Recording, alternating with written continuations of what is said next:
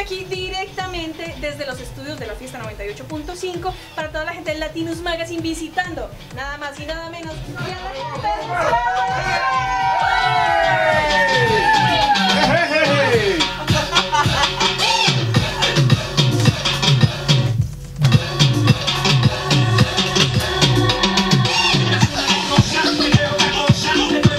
pues ya lo vieron ustedes, esto definitivamente es un escándalo y estamos nada más y nada menos que con Mayra. Ella es la creadora de todo esto. Mayra, gracias por estar aquí. Gracias a ustedes por acompañarnos acá esta noche. Bueno, ¿cuánto tiempo ya llevan al aire? El escándalo show ha sido un éxito total.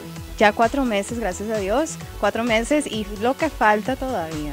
Bueno, ¿cómo ha sido el recibimiento de la gente? ¿Están innovando en el horario, en todo? ¿Y cómo ha sido todo esto? La gente muy, muy positiva, los han dado mucho apoyo a muchos, muchos, o sea, muchos seguidores y todo eso, el feedback ha sido maravilloso, la gente llama, la gente le fascina el escándalo porque no somos normales, no somos normales, ¿no? Realmente el escándalo es un show que viene a innovar las noches, un show diferente, como ya te dijo Mayra, y pues estamos, es un show que está hecho para ti y para ti y para ti, y mientras toda la gente habla español, es para ustedes.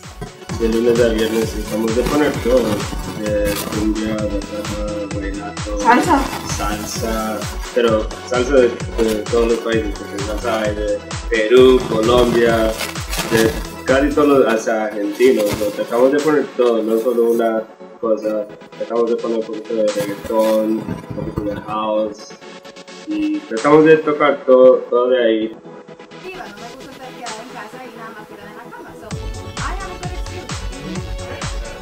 Si sos una mujer productiva, ¿por qué no lo dices?